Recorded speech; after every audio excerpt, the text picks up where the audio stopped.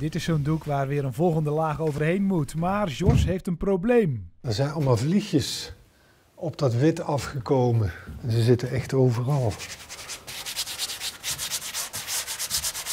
George aan het werk in zijn atelier, een oude school in het zuiden van Breda. Het is eh, lijnolie, gebleekte lijnolie en uh, uh, gomterpentijn. Het ruikt zo lekker. Nee, ik, weet niet wat ik ga doen. Ik weet dat ik een kleur heb, ik weet dat ik een kwast gekozen heb, een vrij grote kwast. Het is groot, groot vlak.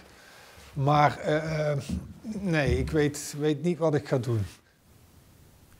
Elke laag wordt weer anders aangepakt. En zo krijgt elk schilderij een eigen huid waar je van alles bij kunt bedenken. Het is een aanbrengen, weghalen, het is een tasten van waar, ja, waar, waar moet ik uitkomen. Ik weet het ook nog niet. Na een, over een week of over een aantal dagen of over een week of over een maand, ik weet het niet. Zien hoe die, hoe die is, of er nog iets aan moet gebeuren. We rijden nog even naar Tilburg, naar de pont, waar George nu exposeert. Deze werken zijn af.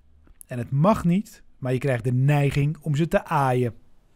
Om even met je handen te voelen aan al die ribbels en bobbels die George met de verf heeft gemaakt. Ja, ik ben uh, erg tevreden met deze tentoonstelling. Hoe het, hoe het licht is, hoe de schilderijen hangen, de plaats waar ze hangen.